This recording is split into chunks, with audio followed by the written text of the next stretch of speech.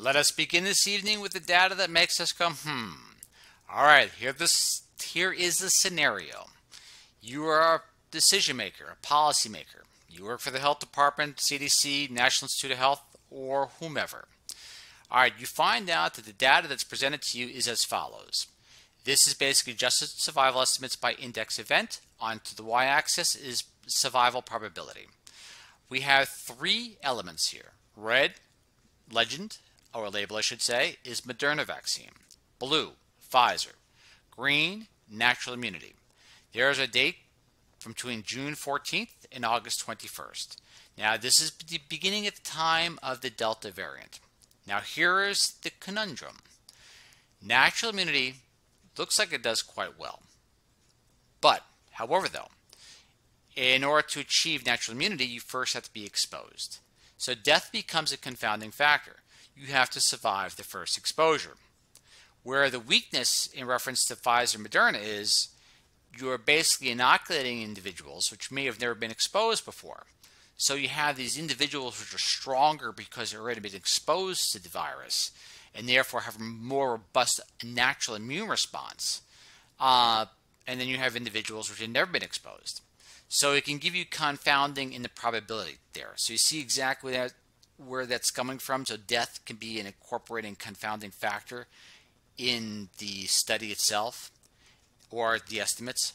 But now, let us look at the Delta variant in reference to the current popular vaccines. All right, here we go. You ready? Do, do, do. There you are. Red, Moderna. Blue, Pfizer.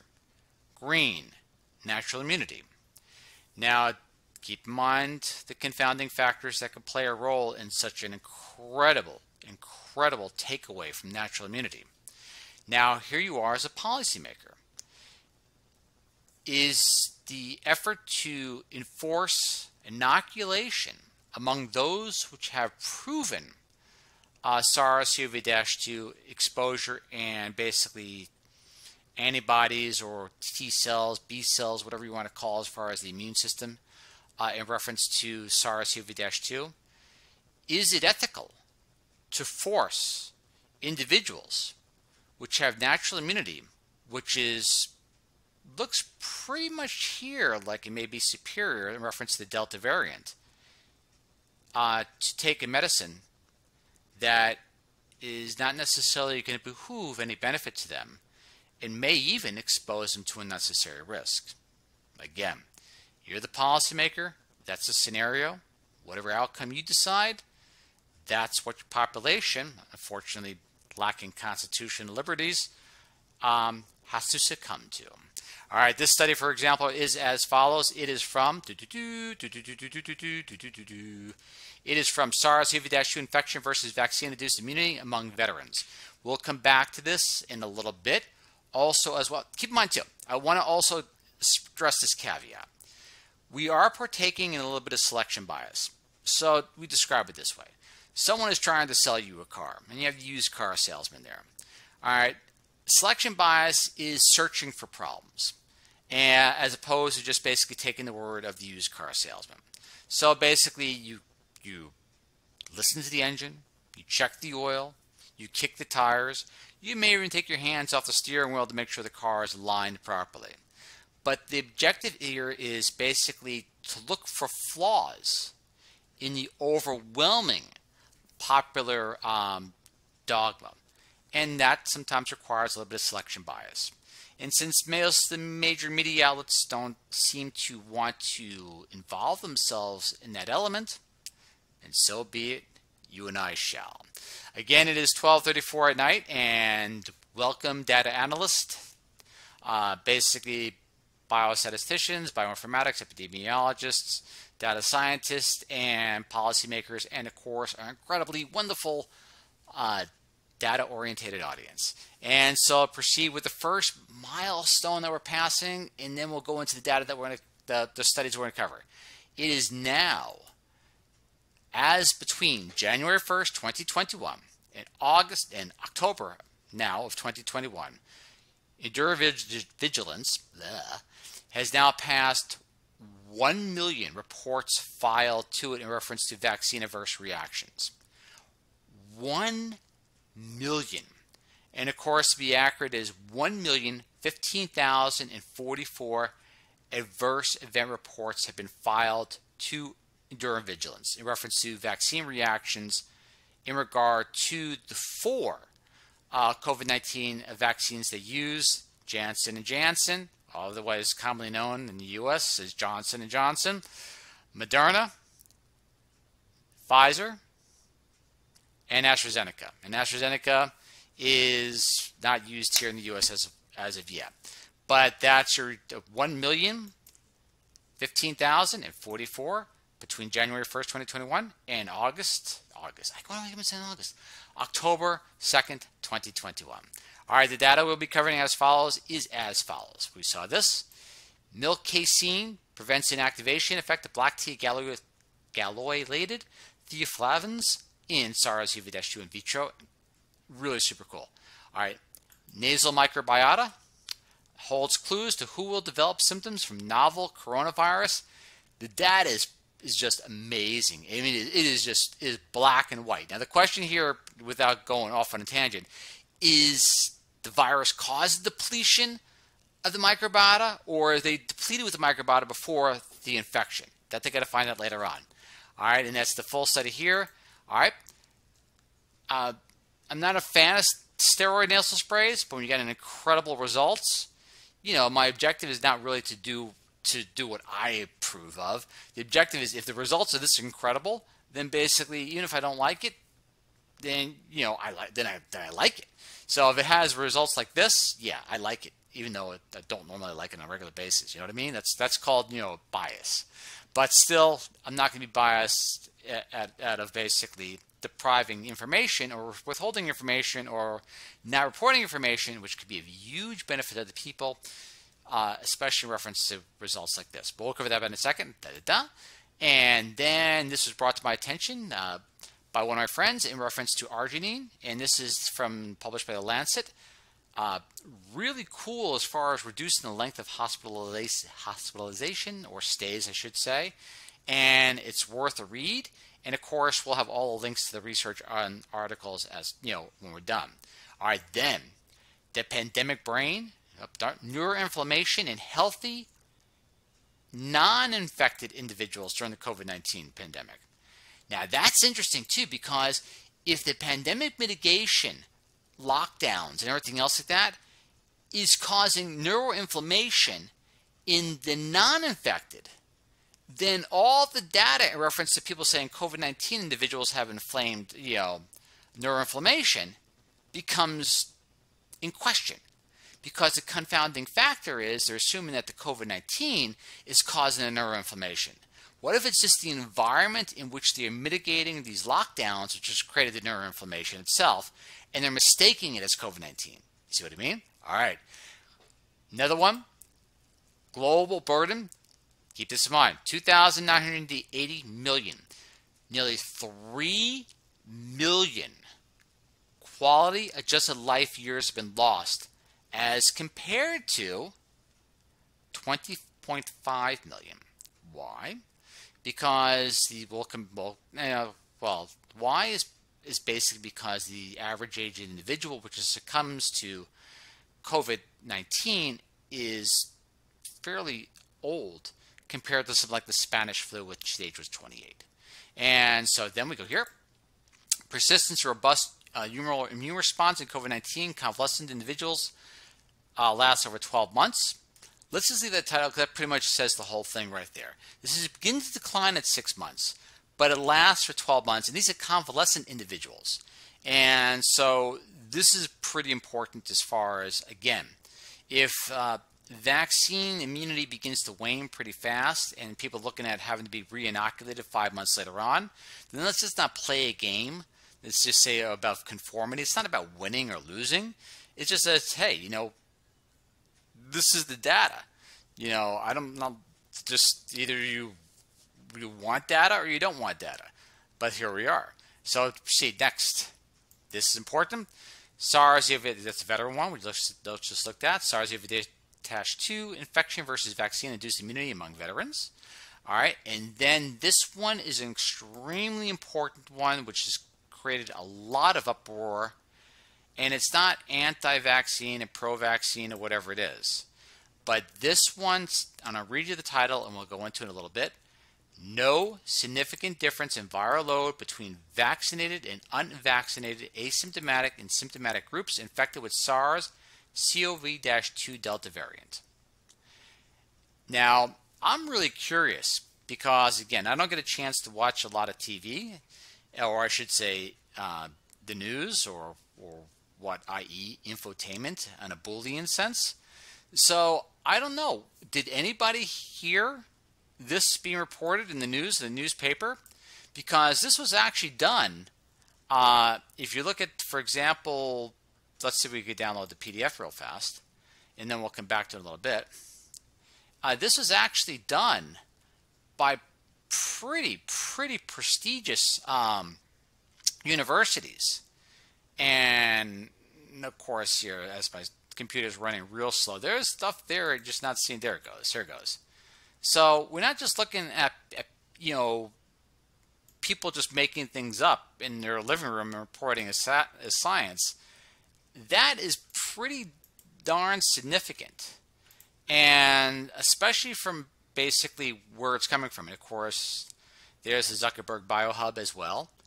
And, oops, go back to this one again. And this one is huge. But I'm curious, did anybody hear it in the news? Uh, no, oops, get that away.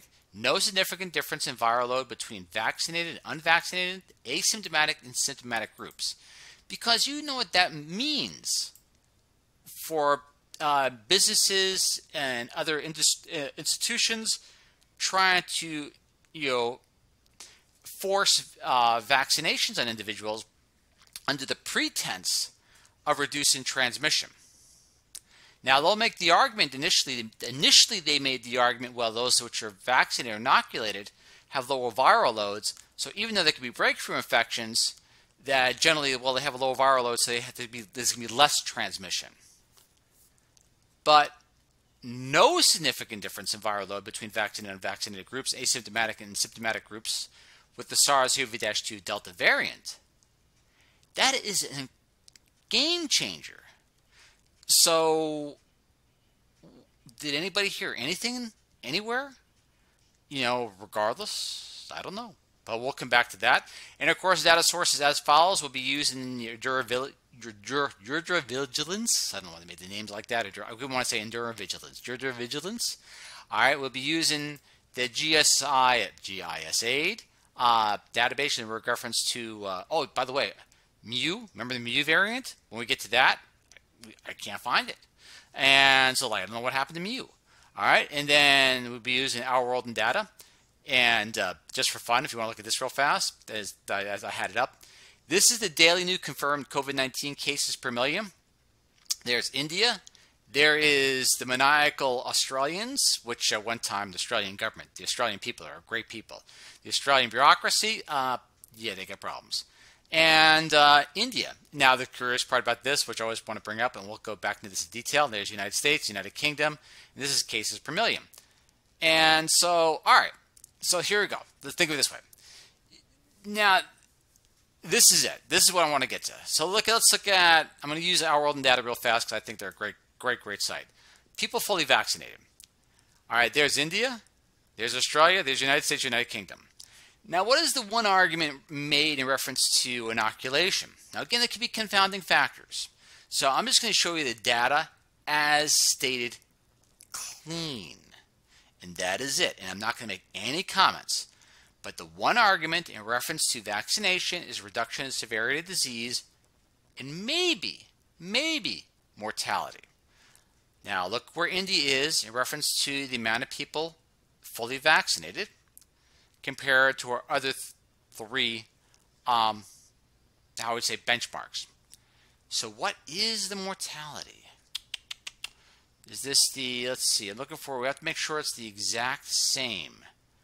So this is probably going to be, not the confirmed deaths, because you want to make sure it's the same amount deaths per like 100 people. Uh, per se. Oh, here we go. Let's not make it so anticlimactic. And let's see, number of deaths, it's probably here anyways. Yeah. Look, where's India? United States? Australia? Oh, Australia. Me move this aside just so you can see. Dang it. There it is. United States, United Kingdom, Australia, India. Who is the least vaccinated of the group? India. Who has the least case level of basically anybody? India. And so, how can that, from an observational standpoint, observational standpoint, I can say that yes, the vaccines and inoculation do reduce the likelihood of death. But now, when I say that, looking at the data, do you believe me? If I said, quote, studies show that basically being vaccinated reduces the likelihood of death, even if it doesn't prevent transmission. Now, I say, you're not going to believe me. Now, if someone in power says it, well, again, case in point. All right, let's begin with our data as follows. And also, too, we'll be using the VAERS data set. And again, the basic, we're looking at the VAERS data set. There's a disclaimer. While very important to monitoring vaccine safety, VAERS reports cannot be used to determine vaccines cause or contributed to an adverse event or illness. The reports may contain information as incomplete, inaccurate, coincidental, or unverifiable. And there are a lot of errors in the VAERS data sets as far as reports. So, yeah, it can be artificially inflated very easily if the data is not extrapolated appropriately. All right, but let's go right into the research as follows, and let's begin with the first one, which is one of my favorite. All right, milk casein prevents inactivation of black tea galloylated theaflavins on SARS-CoV-2 in vitro. I'm going to read straight through, but this is incredibly fascinating and important. Uh, repeated emergence of highly contagious and potentially immune-evading variant SARS-CoV-2 is posing global health and socioeconomical threats for suppression of the, of the spread of the virus infection among people. A procedure to inactivate virus in saliva may be useful because saliva infected persons is the major origin of droplets and aerosols that mediate viral transmission to nearby persons. Blah, blah, blah. We previously reported that SARS-CoV-2 is rapidly and remarkably inactivated by treatment in vitro with tea, including green tea, roasted green tea, oolong tea, and black tea. Tea catechin-derived compounds include theaflavins, TFs, and galloy uh, moieties, uh, moieties that show this activity. You'll get the point. All right. Although black tea is popular to worldwide, a lot of people consume it with sugar, milk, lemon juice, and so on. Let's just get to the chase. Black tea and galloylated, uh, basically theaflavins, remarkably inactivated alpha, gamma, delta, and kappa variants. Intriguingly, an addition of milk, but not sugar, lemon juice, totally prevented black tea from inactivating alpha and delta variant viruses. So, to reiterate, if you add milk, this is what the, research, the researchers are saying, if you add milk to the black tea, then it hampers the ability of that black tea to inactivate alpha and delta variants. This suppressive effect was also exerted by milk casein. The results suggest the possibility that the intake of black tea without milk by infected persons may result in inactivation of the virus in saliva and attenuation of the spread of SARS-CoV-2 to nearby persons through droplets. Clinical studies are required to investigate this possibility. Let's scroll down. Let's scroll down. And this is, check this out. You ready for this? This is the black tea inactivated alpha, gamma, delta, and kappa variants. And this is actually kind of cool. So this is actually kind of fun to show you. This is amazing. Let's make this chart a little bigger. All right, this should be rendering to 4K by now, by hopefully, by the time you watch this. Uh, there's part of our aspect as far as the deactivation, uh, as far as the control and the black tea, in reference to certain virus, virus teeters, teeters. Then let's go keep on going. Da da da. Black tea inactivated delta variants were diluted in human saliva. There's the inactivations right there. Let's see if I can get that down. It's just, I mean, consistently and amazingly as far as the deactivation. Let's see here. Here's their combination. Uh, see, right there, black tea, cool. Black tea and sugar, kind of interesting. But then black tea and milk, black tea and milk and sugar, poof, gone. As far as what they're looking at there. And then let's see what we got there as far as the dilution in saliva, and you get the point. Because ingestion of tea at appropriate occasions may potentially attenuate viral spread to nearby persons, as we previously discussed, and black tea without milk may be applicable to this purpose.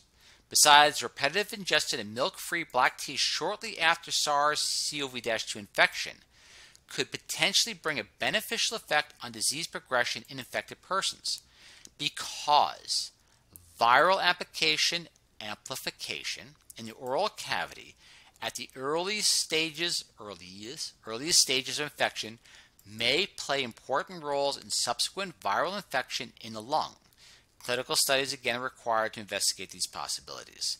So that is just an amazing, amazing outcome in reference to the study in regard to the basically deactivation or inhibition of certain variants. That is super, super cool. And again, the links will be there as soon as we're done with the video. Again, give me some time and I'll have the links there, but then I'll bookmark it where it's in the video so you don't have to go through the whole beginning again. All right, next. This is real intriguing potentially for uh, using nasal sprays that are probiotic. Now, look what happens here. Let's first read the, the, general, the general release. And this is called Nasal Microbiota Holds Clues to Who Will Develop Symptoms from Novel Coronavirus. And there is a strong correlation. Let us begin. The most significant changes were in those which who were symptomatic, including about half of those patients not having sufficient amount of microbiota to even sequence. Literally. So what ends up happening is the people which are succumbing to the severe symptoms, they they can't find that microbiota to, to give you a level, meaning level probably zero, where they can't sequence. They were surprised to find these low reads of bacteria in the uh, nasopharyngeal cavity of symptomatic individuals versus only two and four individuals in negative and positive with no symptoms, respectively. The vast majority of the positive individuals with no symptoms still had sufficient mi microbiota. And again, the moist mucus producing, this is why. The moist mucus producing lining, let me make this a little bit bigger too so you can see. All right, there it is. Just in case it doesn't render before K before you before you read this. The moist mucus-producing lining in this area works like a natural barrier to invaders and is also is a significant complement of immune cells present. You know, Fusel says, and their response to respiratory viruses is the key. The area is also abundant with ACE2 receptors to which the spiky virus binds. So people don't think of ACE2 receptors in the nasal cavity, but there it is. Now check this out. You ready? Here we go do, do, do, here's the full study. I love when they, they publish the full studies. A lot of places don't, and it's problematic. These are the microbiota right there. Uh, we found significantly lower abundance of these five microbiota taxa. And you can go through that right there, and let's see, make that bigger too. Do, do, do, so you can see that just in case it is rendered to 4K. And again, this is real important for medical professionals. And so it's just like you can't take like any probiotic and use it as a nasal spray. So these, for whatever reason, are basically the primary ones they're looking at. And then as we go down, do do do do do do do do do, not that one, not that one, this one. All right, check this out. All right, let's see. Can you let's see? Can I make that bigger as well too? Just in case it hasn't gone to 4K. Yeah, on getting the large size. All right, look at this. These bacteria, like the Lactobacillus um, look here these are the people which are basically breezing through uh, the coronavirus. That's the microbiota count. These are the individuals right here. It's the bacteria is non-existent. How can you get any stronger, stronger correlation without actually basically falling into the line of a causative argument when you have individuals? Now here's here's here's the question. This is the confounding factor the researchers are looking at. Does the virus wipe out that bacteria? That's the question we wanted to bring to your attention in the very beginning. Or, or, basically, is that bacteria depleted before the individuals get infected with severe and negative outcomes in reference to uh, SARS-CoV-2 or COVID-19? Yeah, that's the confounding factor. But whatever, whatever, the basically at least the correlation, regardless of the cause, is generally that this microbiota frickin' vanishes. And so that is an amazing, amazing discovery, and that has to be expounded upon hopefully sooner than later. We've been doing this, but this is this is I think is our we've been 50 50 videos, 50 weeks of this so far, and about to go actually 51 weeks. So you know I like to see a lot of these these breakthroughs incorporated into actually uh, nice research that has decent outcomes per se. And let's see, go down. Let me make this a little smaller. Well, I'll just scroll down. Yeah, that was the end of the study. Again, the links will be there for you regardless. And so this is kind of cool. Again, not a fan of steroid nasal sprays, but that's not the point. The point is, it looks like it has a strong effect in producing severe illness. And here we go again. Nasal spray. Where's the ACE2, you know, receptors? In the nasal air cavity. So you see the correlation of events uh, as far as what may be working. It, it, like we've heard saline, iodine, pro, you know, povidone, uh, other elements as far as basically being used as nasal mitigation factors uh, over and over again. And here we go now with a medication. Again, it's not, I'm not a fan of steroid nasal sprays, but look at this. Patients who use intranasal corticosteroids prior to COVID 19 illness are 22% less likely to be hospitalized, 23% less likely to be admitted to intensive care, and 24% less likely to die from COVID 19 during hospitalization compared to patients not on intranasal corticosteroids. Compare that effectiveness, let's say, to an inoculation. And see, I'm not anti inoculation or variolation, depending on what time zone, you know, time period you come from. But outside of that, I'm just basically saying, hey, why fool yourself? If there are better medications out there to basically treat things, you don't use an inoculation just to prevent severe illness. I mean, unless you have to, unless there's no other treatment. But there's other treatments out there which are better and more effective, then, then, then why? And especially since it's causing a lot of societal strife and people are losing their jobs and this because they're losing self-autonomy and self-determination. And all because of bureaucratic hard you know hard-headedness. It's not a game about winning. It's a game about basically helping people stay healthy. And really really cool link. And again it pretty much says it to itself. And this is another time again this was brought to my attention uh, by one of our staff members. And uh, this is from the Lancet in eClinical Medicine. Arginine. Now, I remember, like, I think it was two videos ago in reference to nitric oxide and how basically the NO2 levels tend to decline. You know, it could be associated, you know, associated with lockdowns and things like that, and less public transportation, and so on and so forth, potentially correlation. But at the same time, too, they found out that the virus has a really detrimental effect on the NO levels in individuals. And they made a recommendation two weeks ago in reference to L-arginine and citrulline, ironically. And here we are in the Lancet. Now we have arginine. This is a parallel group, double-blind, randomized, placebo-controlled trial conducted on patients hospitalized for severe COVID-19. Patients received 1.66 grams of L-arginine twice a day or placebo. Very, very simple protocol. The primary efficacy endpoint was a reduction in respiratory support assessed at 10 and 20 days. And there's a reason the, the, the 20 day didn't work out, but we'll get to that in a second. Let's just read through here.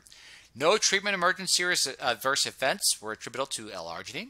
A day 10 evaluation, 71.1% of patients in the L-arginine arm and 44.4% of placebo had respiratory support reduced. However, a significant difference was not detected after 20 days after randomization.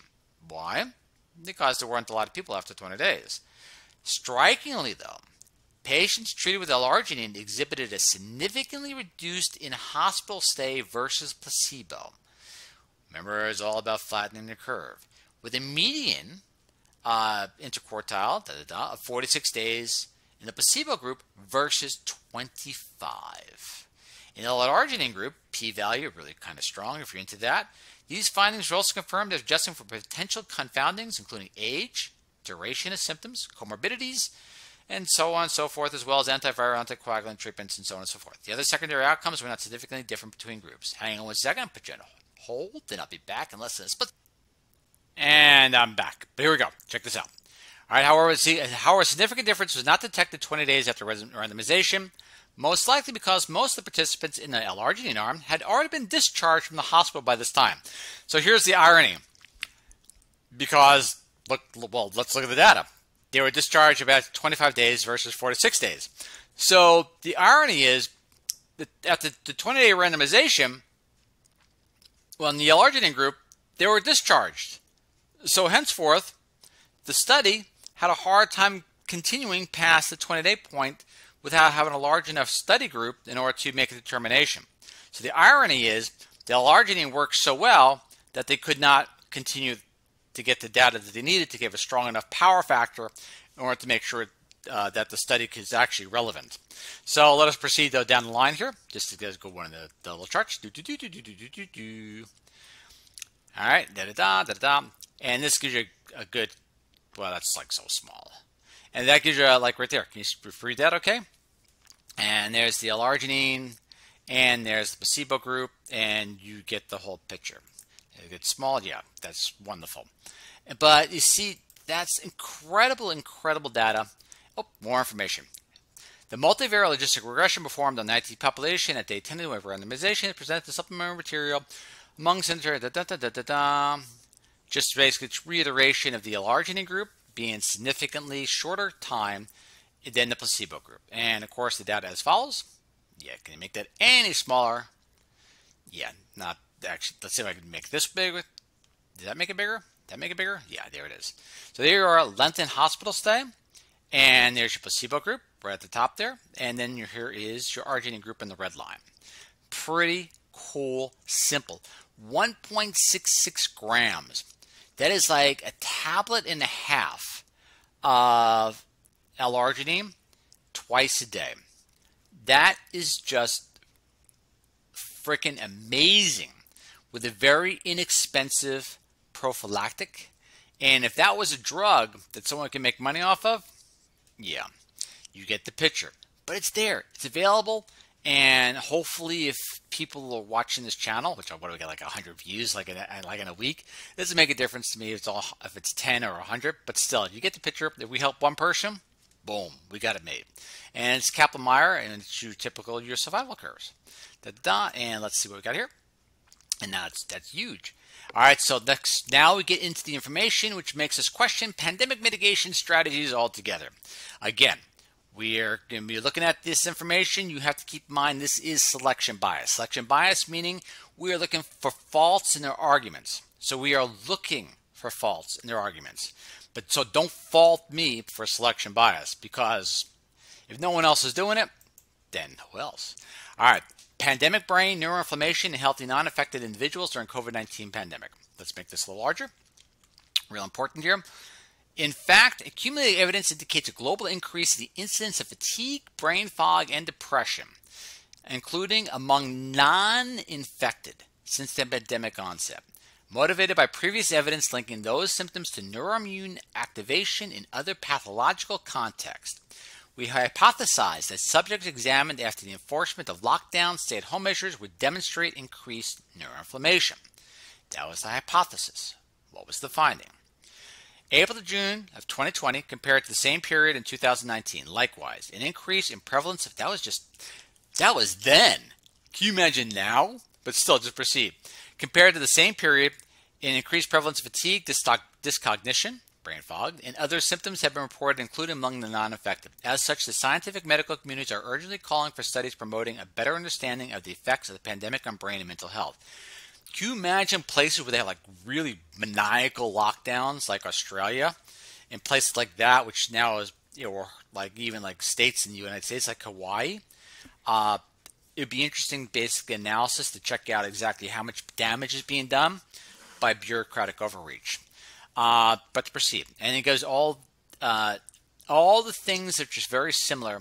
So it makes you wonder, for example, if uh, fibromyalgia and other you know other symptoms such as chronic fatigue syndrome, insomnia, Gulf War illness, and so on and so forth are also beginning to increase. Let's let's go down. Let's look at the charts as follows.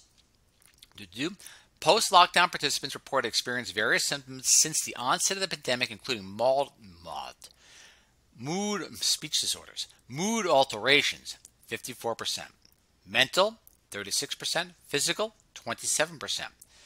Dyscognition, 18%. These symptoms were paralleled by a post lockdown increase, and this is the signal they're looking at, which was apparent in both ROI and VoxelWise analysis, including support sensitivity analysis performed. I'll just show you the pictures, you get the point. Here we are. And so we look at this. So basically, you're looking at the after lockdown, before lockdowns. So you, you see basically the change. I want to see if I get down here. Look down at the bottom. You get an idea. Let's continue a little forward. All trying to get that out of the way. There's your signals down below, before lockdown, after lockdown. There's the brains. Look at that. Can you see that? As far as the great amount of inflammation, post lockdown, pre lockdown. So when they say that they're messing with your head, yeah, they are messing with your head, whomever they is. But you get an idea. Sometimes when good, you know, the road to hell is is covered with good intentions. So you have a lot of bureaucrats trying to basically what they what mitigate the virus, and but you know they only see things very myopically, and that there's tremendous amount of collateral damage outside. Uh, it's not about winning. You're not winning against the virus by sacrificing your people. All right, and then we proceed down, and you go through the whole list of definitely, uh, you know, for example, fatigue, mental fatigue, mood alteration, so on and so forth. Pretty significant in their changes. But again, this the links will be there. I don't want to uh, uh, basically incorporate or interject publisher bias per se. But however, though, the neuroinflammation among the non-infected uh, is pretty darn intriguing and it's interesting to look at. Now, that ties in with our next research article. Um, look at the thalamus, um, so on and so forth. Because what overall results indicate that pandemic associated stressors may have triggered a neuroimmune response in the non affected individuals. Let me finish with this one off first. When interpreting the results of our study, the reader should be mindful of several limitations. First, at a relatively small sample size, particularly compared to basically the cohort, a limitation largely imposed by the COVID 19 pandemic related disruption on clinical research. However, multiple factors provide high confidence in the solidity of our observations, including the consistency of our observations across individuals, scanners, age groups, genotypes, and sexes. So now, that ties directly in with the next research article. Eventually, if it shows up, there it is. The global burden of COVID 19 restrictions, national, regional, and global estimates. Here we are. The, a large literature has documented the high global mortality and mental health burden associated with current COVID 19 pandemic. In this paper, we combine newly collected data on subjective reductions in the quality of life with the latest data of COVID 19 restrictions to quantify the total number of quality of life adjusted years lost due to government imposed restrictions globally. Our estimates, obviously I'm quoting, suggest a total loss of 2,980 million quality adjusted life years as of September 6, 2021. To make that simplified, close to 3 billion. According to the latest estimate, 20.5 million years of life have been lost due to COVID 19 to date. So 20.5 versus 2,980 million or 3 billion. 20.5 million versus 3 billion. The direct economic cost of COVID 19 measures has been estimated at 7.7 trillion for the US alone. So you think about it here they're arguing about this three and a half billion dollar trillion, yeah, three and a half trillion dollar stimulus package, which is an unbelievable amount of uh, money as far as increasing the M1 money supply, which is just going to devalue the currency that people have. So people making fifteen dollars an hour, it makes no difference if the it makes you don't understand. It makes no difference. You have a three and a half trillion dollar bill. It makes no difference if it costs you nothing, but it does. It costs you a tremendous amount because by injecting three and a half trillion dollars in wealth into basically the economy, you're creating more dollars, which devalue the dollars that people are holding on to. So, I mean, you may not understand. Think of it like a pizza pie. You have one pizza pie, which is three feet in diameter. All right, and you have eight slices. And someone says, you know, I need a pizza that has 16 slices. So the normal mentality is you think, well, if it's a three foot pizza, then it's going to be a six foot pizza, right? So it's a bigger pizza. No. So the person at the counter says, all right, you want a 16 slice pizza? They take your eight slice pizza and they cut it into 16 slices. But it's still the same three foot pizza. Now, you increase the money supply, so you're making $15 an hour. Well, we'll only throw $3.5 trillion in the economy. Now your $15 an hour can't buy a freaking loaf of bread. So that's what happens. You increase the M1 money supply, you, de- you devalue the amount of wealth available in the current society. So 7.7 trillion, unbelievable. Now, when I talk about economics, what does that have to do with health? Well, when you're working your butt off to pay rent and you have hardly any disposable income beyond that, it tends to make life a little challenging. And that plays a huge role in health. But to proceed down the line. Ba, ba, ba, All right, let's see. And you'd be surprised these are the areas which are really heavily hit. Uh, the United States has been hit hard, but obviously not as hard as other parts of the world, which many of those years of quality of life, adjusted life years, have been lost. And so we go down the line here. Now, this is intriguing. I like this little article. They did a little survey on here, too. Check this out. This shows that across all countries, subjects are willing to give up 22% of their annual salary to avoid school closures Let's make this a little bigger. Let's see. And 21.8% to avoid closure of restaurants, bars, and clubs.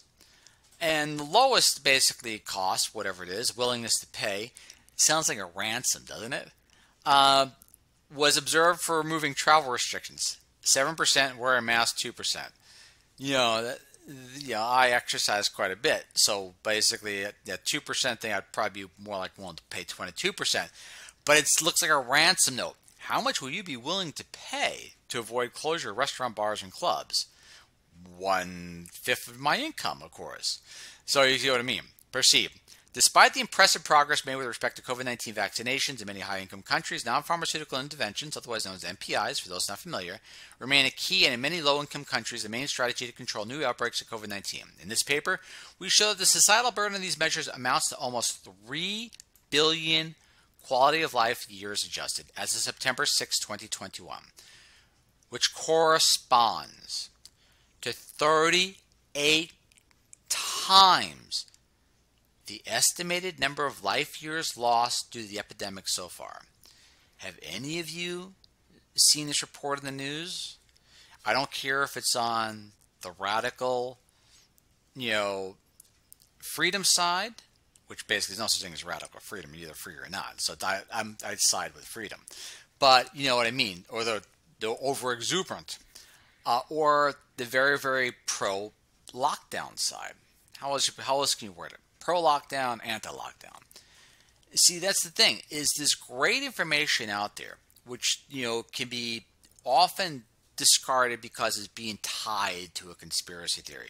To question a vaccine means that you're anti-vaccine, and then they'll tie some of the weird thing in there, for example, you know, like microchips or whatever it is, and therefore it discredits the entire argument about questioning whether that vaccine has efficacy. Very, very simple psychological strategy, which has been used for years. Um, it's kind of like when they had the uh, Occupy Wall Street movement, and then there'd be these weird people that come into the area and start busting up Starbucks windows, which I don't know what anybody has about Starbucks, but every time there's some sort of protest, Starbucks seems to get the brunt of it. But you get the idea. It, it discredits the movement. And so these all these little discrediting elements being interjected, uh, which are basically outlier hypothesi, we'll just call it that way, and as opposed to conspiracy theory, that discredit the movement even to question the efficacy of a treatment. Now, when you look at which corresponds to 38 times the estimated number of life years lost due to the epidemic so far, has anybody, anybody, seen that mentioned in the news and media anywhere to date? Ask yourself why. Right, proceed down the line. Yeah, that was the end of the article. Here we go. Next, persistence or robust humoral response. Ah, that's in the title. You see what there? All right, next. It's it, we, we know, we know. All right. SARS-CoV-2 infection versus vaccine-induced immunity among veterans. That's what we opened with, that one chart. But let's go down the line out of respect for the researchers. With over 40 million cases of SARS-CoV-2 infection reported in the United States and discussion of both vaccine mandates as well as boosters ongoing, we aim to examine, I'm quoting of course, protection conferred by previous infection compared with vaccinations so that citizens and policymakers can make informed decisions you know, citizens and policymakers. I honestly don't believe that policymakers read anything uh, recently at all. I, do, I don't. Because this has been going on for a long period of time, and a lot of the mitigation factors could have been had a lot softer touch to it, which could have made societal congruity and harmony. And it's it's it's about winning, and I don't like that. Here we go. Among young adults, the protections offered by vaccines were statistically equivalent to that provided by previous infection, especially in terms of absolute incidence rates. Conclusions Among the elderly, 65 or older, two dose mRNA vaccines provided stronger protection against infection, hospitalization, and death compared to natural immunity. Um, natural immunity. End sentence. Among young adults, though, young adult, 64 or younger. So again, the, the, the wording there can have some confounding because you're thinking young adults. Well, mm, young adults, 64 or younger, qualifies as young adults. The protections offered between natural immunity and vaccine induced immunity were similar. Prior to these actions, an Israeli research group found that natural immunity confers longer lasting and stronger protection against infection, symptomatic disease, and hospitalization caused by the Delta variant of SARS CoV 2 compared to the mRNA two dose vaccine induced immunity. Their finding was alarming. Never infected people who were vaccinated in January and February were 6 to 13 times more likely to get infected than unvaccinated people. I am going to reiterate that. Are you ready? I'm going to read it slowly. Their finding was alarming. Never infected people who were vaccinated in January and February were 6 to 13 times more likely to get infected than unvaccinated people who were previously infected with coronavirus. So keep in mind though, they are comparing natural immunity from individuals which have been infected prior as opposed to individuals which are vaccinated. That's where the confounding can play a role. So you have to keep that in mind to get a good balance and not to mislead and misread. Because you, you know, if we take a person who's never been exposed to coronavirus, I don't know how, what the results would be. But people that are exposed to coronavirus prior who were not vaccinated fared extremely well compared to those who were never infected and vaccinated. So again, this plays into the policy making decisions. Uh, a lot of people, the healthcare workers, which are on the front line, who have been exposed over and over again, and now they're being rewarded by saying, "Hey, uh, if you don't get this inoculation, which may not be necessary, uh, then we're going to terminate you." There's going to be some massive lawsuits because they're making information, these policymakers, or whoever these company owners are, without adequate data, and they're creating a form of discrimination based upon uh, ignorance. Uh, you know, basically imposing their will on individuals unnecessarily. Uh, they they'll they will get what they deserve, uh, you know, legally. Let us proceed as follows. And let's down. We found that relative protection offered by natural immunity versus vaccine-induced immunity differed by age. Although the data showed most additional protection by mRNA vaccines among the elderly among young adults was mostly seen less protection by mRNA vaccines. Nevertheless, in terms of absolute infection rates, the protection was similar as those previously infected. Immunosenescence among older people could impact the ability to respond to infections and maintain long-term immunity that was acquired either by infection or vaccination. By focusing on July and August, during the prevalence of Delta variant reached almost 100% in the U.S., we intend to study the impact of Delta breakthrough infections. Unfortunately, this approach is ecological by nature, owing to a paucity of whole genome sequencing data in the United States. Individually, vaccine effectiveness has been reported to wane over time and can enter a particularly less effective period after five months. So you know that's why I always say five months is the time. You have to be. It's not going to be six months. Most likely, if they keep on the um, focusing on the one type of pandemic mitigation strategy of inoculation, because it just seems to be a game that wants to be won now. Uh, that in order to have the effectiveness, it's going to be, you know, maybe vaccinated twice one year, three times the next year, and so on and so forth. You can see that how in order to maintain any sort of uh, resistance. Uh, but however, let's proceed. Now that was our that was their first chart. So you see right there, natural immunity, Moderna, Pfizer. All right. Now the next one. Death is an important competing risk as one must survive the first infection to become a risk again for another infection. Remember we discussed that. The sharp rise in infections among the vaccinated during July and August can be attributed to the impact of Delta.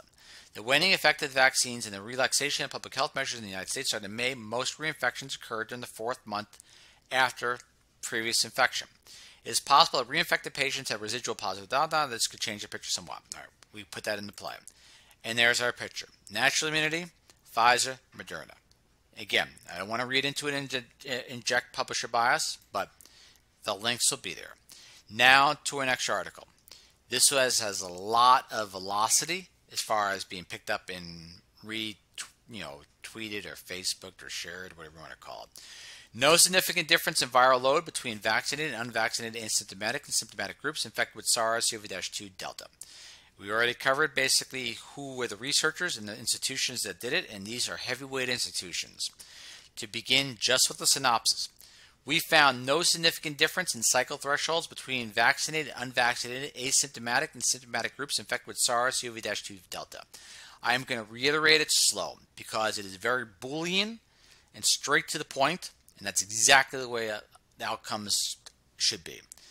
We, quoting, found no, as in none, significant difference in cycle threshold values between vaccinated and unvaccinated, asymptomatic and symptomatic groups infected with SARS CoV 2 Delta. So, once again, remember we last week when we covered we're testing unvaccinated people through the roof, but vaccinated do not require to be tested. That creates a very, very weird imbalance. If this information here is valid.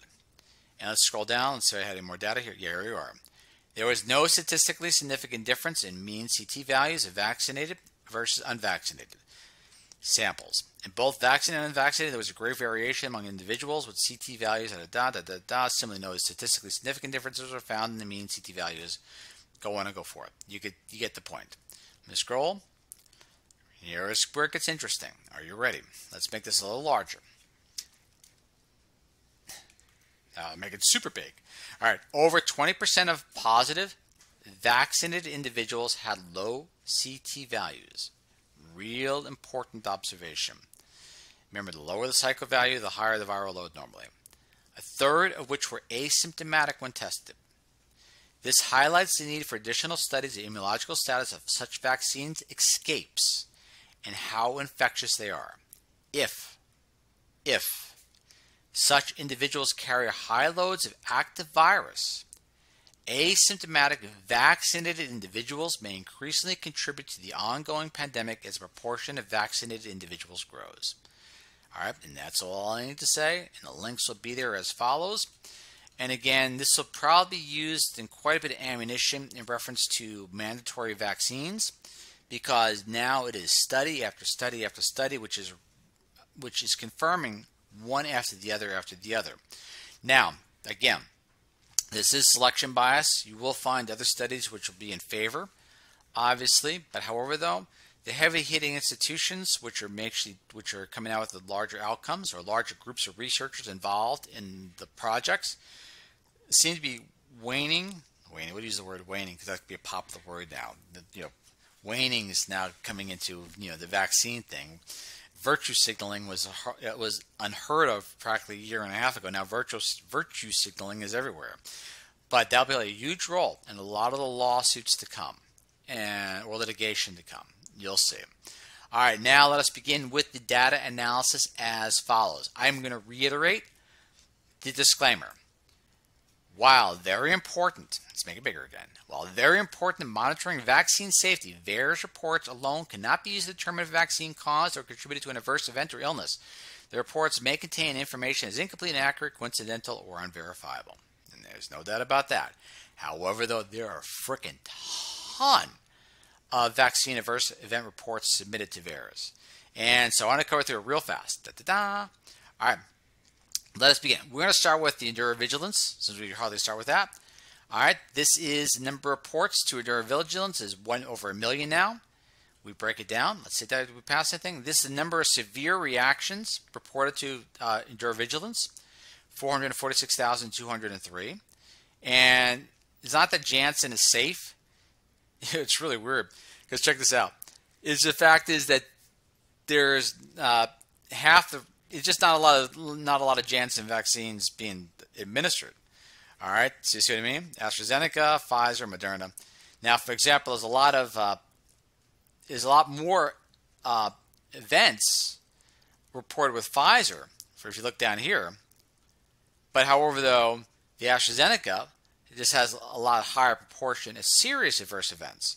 In our AstraZeneca, I don't think there was any reports of myocarditis in young and since California now on its uh, on on its you know on I don't know why uh, started making mandatory vaccination for 12 year olds, the one advantage AstraZeneca had over Pfizer was the fact that uh, they couldn't find myocarditis, and so if I was to make man if I was a policymaker and make mandatory vaccines, I would wait till AstraZeneca was approved in the U.S. and recommend this one for children since it has seems to have the least uh, detrimental effect on the young as opposed to the potential risk of myocarditis from the other ones. All right, that's the number of uh, mortalities reported. Uh, basically, that's the reasoning why. Uh, in the EudraVigilance, that's the word cloud. We'll pass by that. All right, and we'll just go down the line. And this is, it's interesting how the reports are in uh, Europe. Uh, the most common reports mentioned uh, basically in reference to vaccine adverse event reports being reported to EudraVigilance.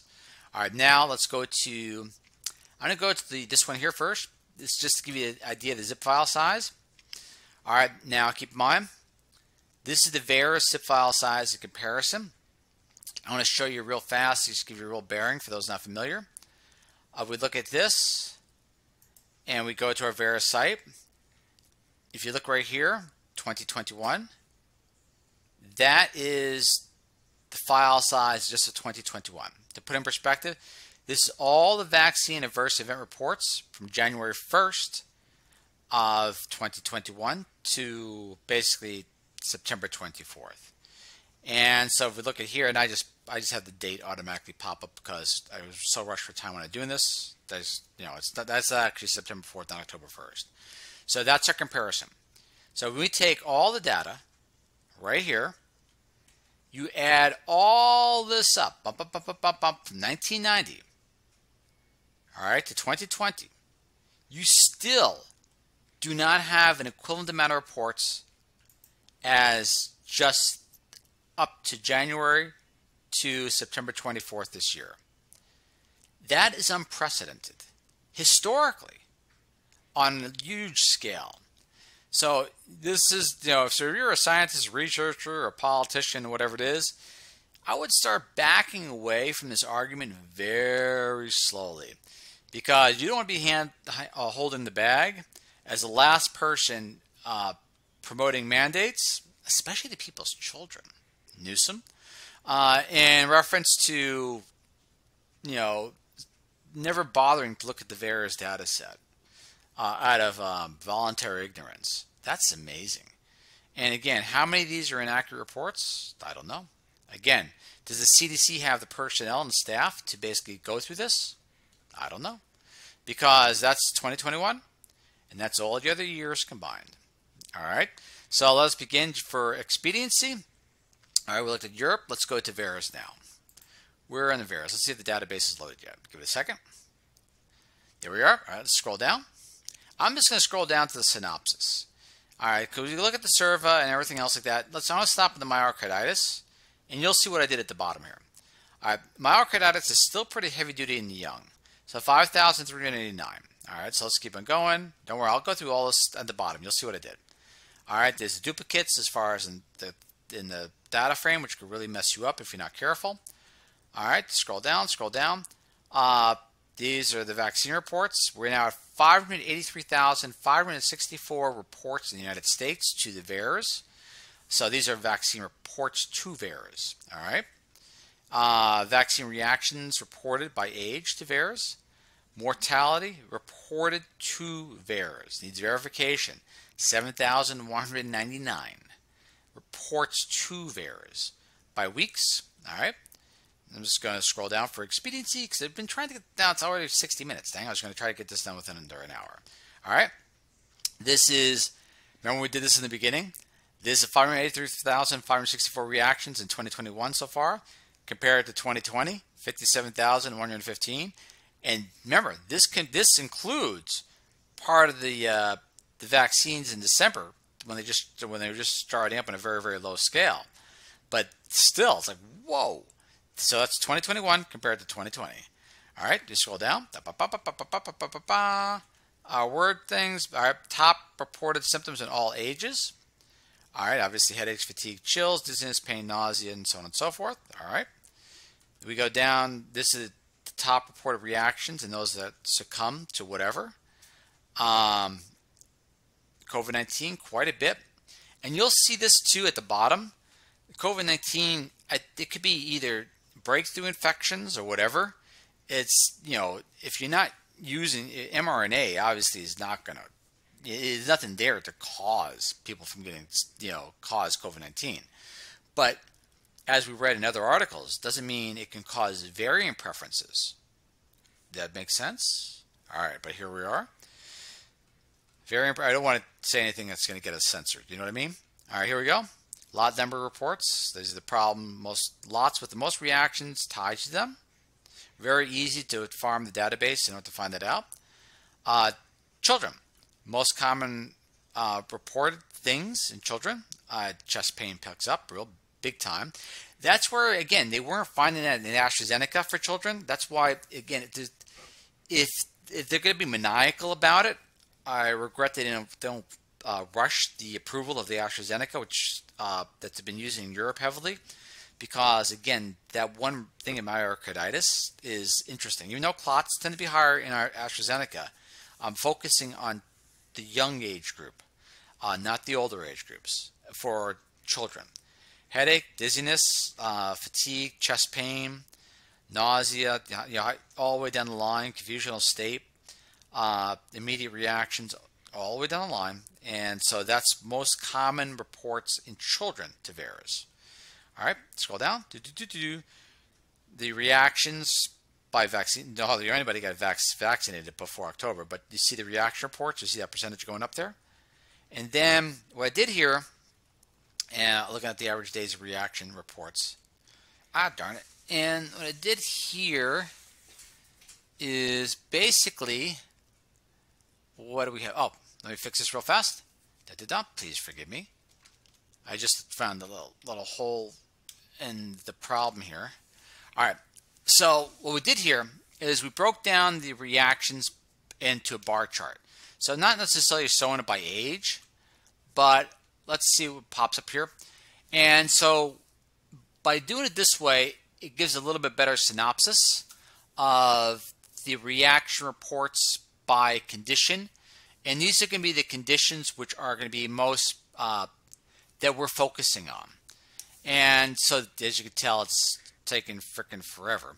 And by looking at what we're focusing on, we always could add a little bit more, so it makes it a little easier for the synopsis. Let's give it five more seconds if it doesn't come through.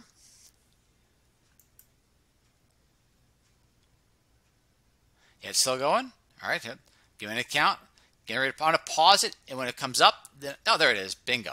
All right, so there it is. You see? Vaccine reports of interest submitted to VAERS from January 1st to basically now. And see, this they could have been infected ahead of time. There's a lot of confounding that could be involved in the COVID uh, breakthroughs. But thrombocytopenia, SIRVA, shoulder reactions, paralysis, Uh, I should get, I have the index on there. Forgive me, I'll fix that in a little bit. Myocarditis, Bell's palsy, mortality, thrombosis, shingles, and then, of course, COVID. All right. So that'll be a little easier when we're short for time like we are right now. And so let's go down to our COVID rebuild. To show you something kind of interesting with this. Check this out. All right. Remember Florida? How Florida is going to fall off the face of the earth? All right. Check this out. Here we go. Do, do, do, do, do. If I can scroll down, there we go. All right. Number one, average age of mortality. Start off right off the bat. All right. I, uh, yeah, it's cleaned up. So here it is because there was a little bit of a crossover. Let's make this a little bigger. Do, do, do. Bigger. There's that. All right. That's the average age. And I, I really have a problem with when you have large, just large scale mortality uh, past the average life expectancy. And because I think it leaves us way open to confounding. But look at the drop off. I mean, once it's below 65, I don't know how, just like one year, 64, 65, they got to break this group up into a little bit more uh, distinct levels. And it just drops off and then you go to the younger years. And this is a CDC report. So you think there's more than one one to four uh, year old children that succumb? That's not me reporting it. That's just straight CDC data. And so yeah, that's what we're looking at over the you know for since the beginning. All right, let's begin. Do, do, do, do, do. Check. I want to show you Florida because it's interesting. All right, don't pass that. Da da da da da da da. All right, scrolling. Da da da da da it's look at Washington. Look at all these states which are heavy duty lockdown states. Can you say dysbiosis? It's really weird. Look at Hawaii. It's like, oh yeah. It's like, wait a second. It's like, no, I don't. Th I think they have to reevaluate their lockdowns. All right, but here we go. Uh, deaths per hundred thousand. And if you look right here, you know, this is really frustrating because remember, deaths per hundred thousand back in May were 3.06 and, you know, it was higher without a doubt. But I think it's just like the tide. So we close this down. Do, do, do, do, do, do, do, do. You know, let's make it this way, right? Let's just do right here. A week, four weeks, year to date, and that's all. So you can see the trends. That's new deaths per 100,000. All right. Now, there's our basic graphs, but I want to show you this way. Ready? Here we go. All right, here we go. All of a sudden, for whatever reason, I have no clue what happens. But if you look at the, the algorithm here, look how basically it goes up and then drops. Now, check this out. You ready for this?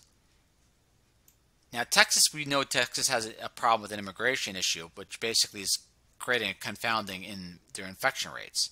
So, you know, when people are crossing, you know, for whatever reason, and I don't want to get political, but if they're coming in and they're coming in positive for COVID, then I don't think then Texas is getting hit uh, or mortality per 100,000. So let's see real, real fast. Here it goes. So you, it, it, makes it tough to basically analyze the mitigation strategy if there if there's if there's uh, different confounding factors.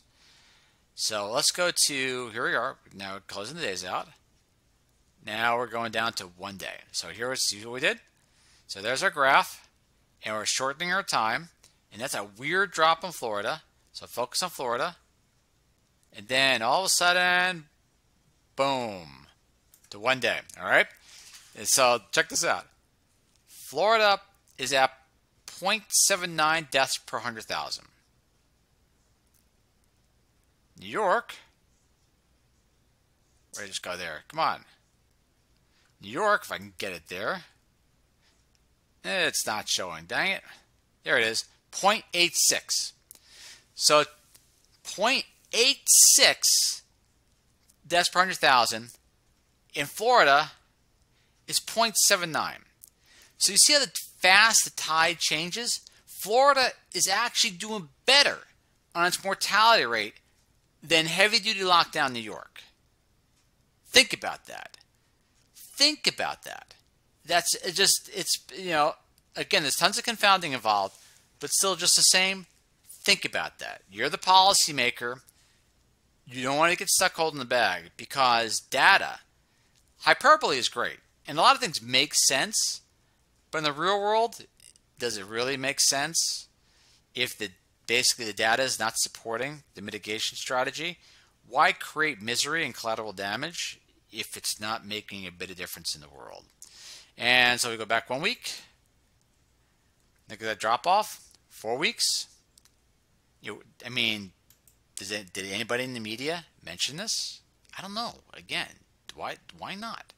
All right, but you see what I mean. All right, let's see. Proceed down and um yeah, not much else out there really as far as that. That's just fun stuff.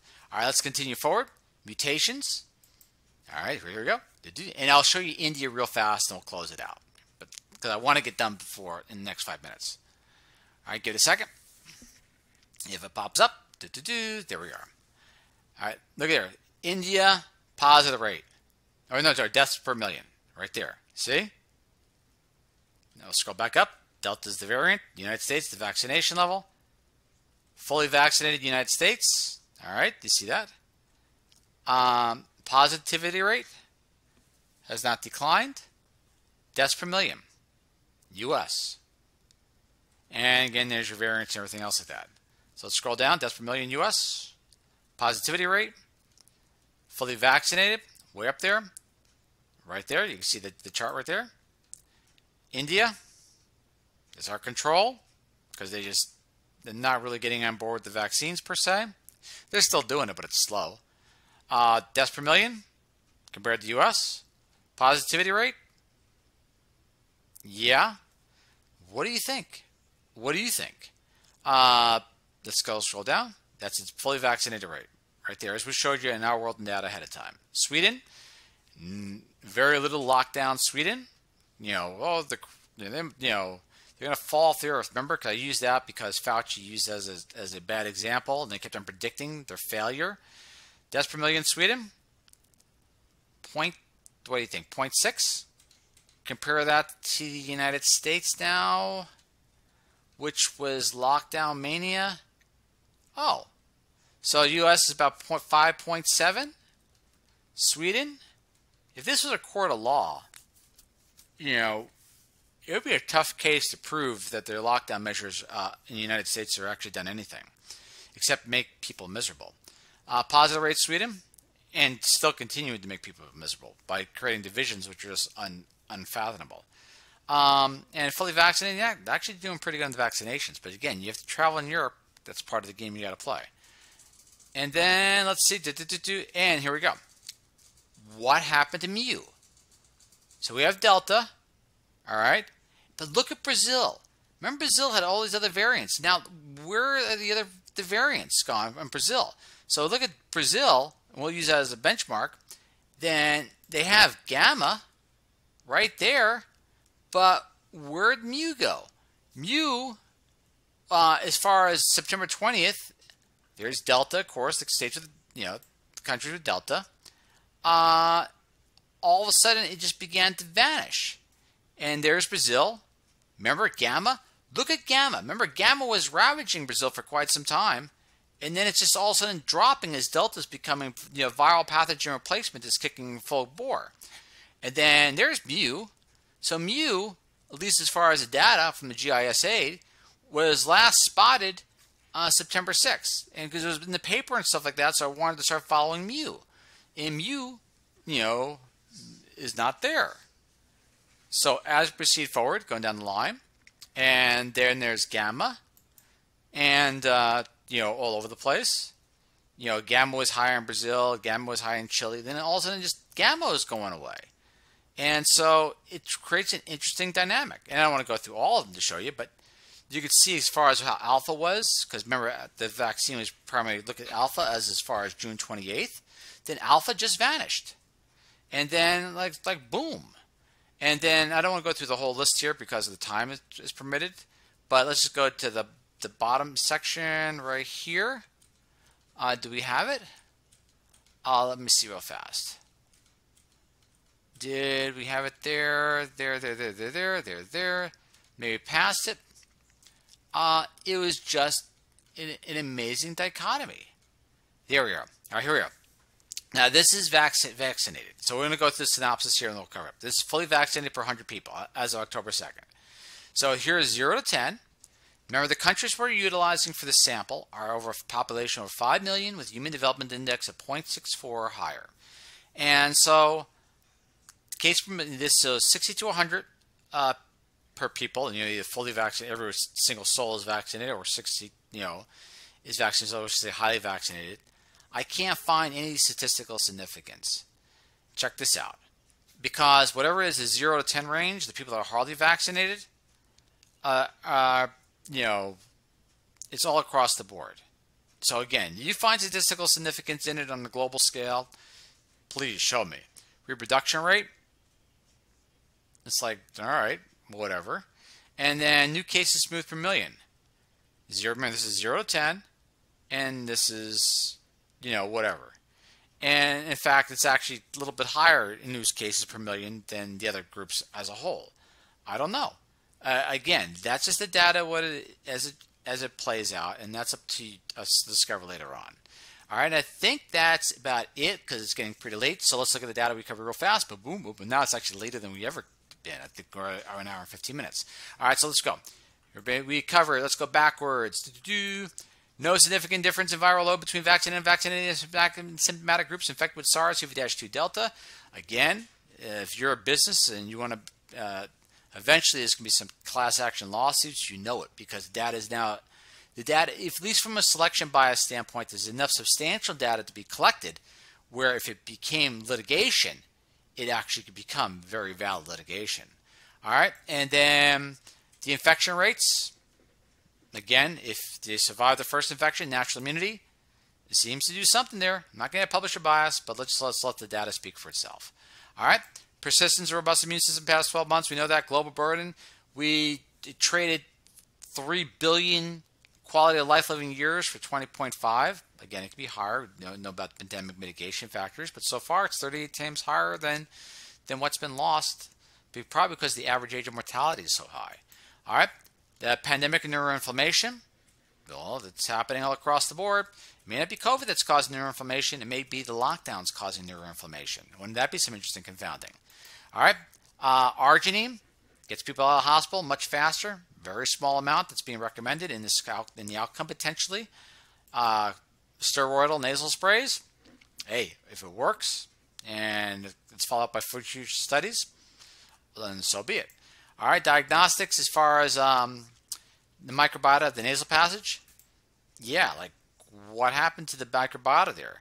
I'd be really curious to know if that disappears ahead of time or if the virus causes that. But regardless of that, it creates a susceptibility or vulnerability to those ACE2 receptors according to the researchers.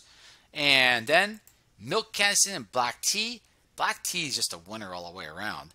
Um, works with seems to be helps uh, again establish some sort of um, resistance, at least according to this study, uh, in reference to alpha, gamma, delta, and kappa. Almost said something I didn't want to say there, but it holds promise.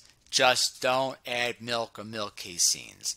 Again, thank you all, our data sources. Again, thank you to the Europeans for their vigilance. Thank you to GISAID, incredible. Thank you to our world in data, and honestly, too, again, CDC has to work. I don't know what's going on in the background, but the, the common foot soldier in the CDC um, has, you, know, you have to give him a lot of credit. I mean, that's a lot of data to collect and so on and so forth. I'm not, a, I'm not impressed by the bureaucratic uh, establishment towards the top. Uh, I don't know what they're thinking or how they're thinking, but however, though, the regular person every day at the CDC seems to be doing a decent job, uh, even though I'm not necessarily I'm perplexed by the leadership. But being perplexed by the leadership does not mean to discredit everyone else underneath. Uh, so to proceed, and then we got all those studies there, and that's a lot of credit there. Gratitude, thank you, thank you to all individuals there. The data is there too, and it'll be rendered in 4K. Get a little time, but once we get it rendered in 4K, everything will be really, really, really easy to read, and it's be like kind of cool and now I'm just scrolling aimlessly and it's typically a long goodbye. Again, see you all next time. Ralph signing off. Thank you, thank you, thank you, and I'll catch you next time. Bye.